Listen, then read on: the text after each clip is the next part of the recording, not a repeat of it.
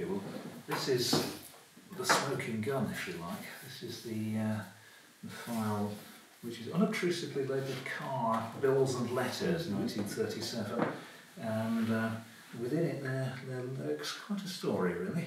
Um, they were overtaking a lorry, and as they did so, there was a vehicle coming the other way, and something appeared from behind that vehicle, and hit it head on. Uh, on the 19th of May, the day after the crash, indicating that in accordance with the provisions of the Road Traffic Act 1930, they intend to prosecute Benjamin Britten for uh, driving a motor car in a manner dangerous to the public.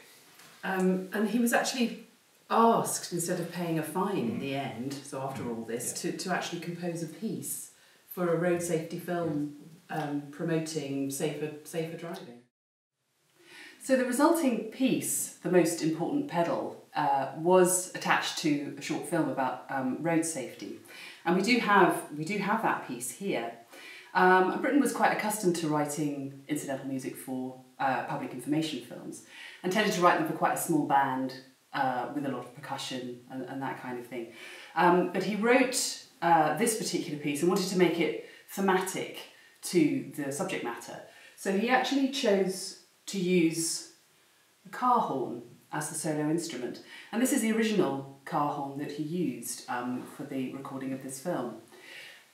And it's quite interesting to, to see what Britten's done here because it's quite a serious subject.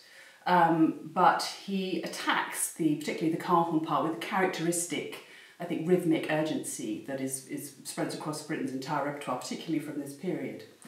Um, so I'm just going to play a little bit of the car horn part. I'm not an expert on this instrument, but it's I'm just going to have a go at it. There's a bit actually where it mutes, and in the instructions he suggests that you put your handkerchief down the bell um, of the car horn. So we just got a kitchen towel, unfortunately.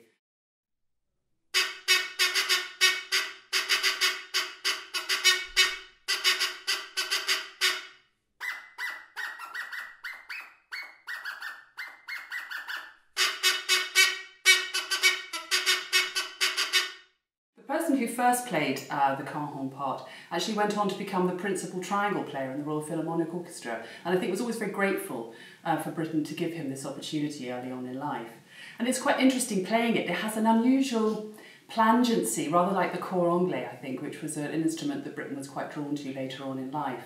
Um, I think it, it's surprisingly expressive, quite moving actually, um, given, especially given the serious subject matter, it's quite appropriate.